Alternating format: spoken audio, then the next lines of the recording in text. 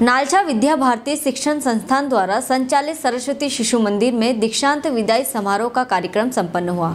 जिसमें सर्वप्रथम अतिथियों द्वारा माँ सरस्वती और भारत माता का पूजन अर्चन कर कार्यक्रम की शुरुआत की गई। विद्यालय की दीदी द्वारा अतिथियों को तिलक लगाकर श्रीफल भेंट कर स्वागत किया और कक्षा अष्टम के भैया बहनों को कक्षा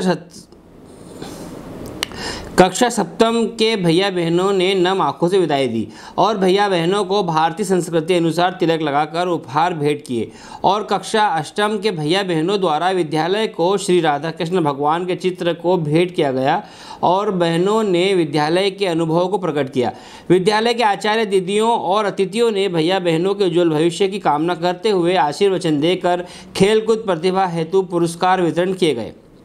नालछा से विनीत यादव की रिपोर्ट। आज सरस्वती शिशु मंदिर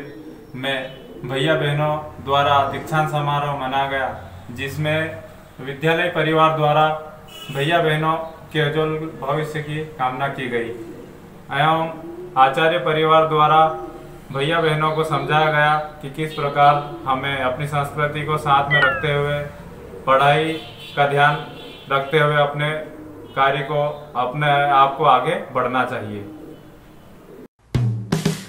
हेलो फ्रेंड्स आप देख रहे हैं हमारा channel S W twenty four news हमारे सारे वीडियो सबसे पहले देखने के लिए आप हमारे चैनल को सब्सक्राइब करें और पास में लगे बेल आइकन को दबाना बिल्कुल भी ना भूलें।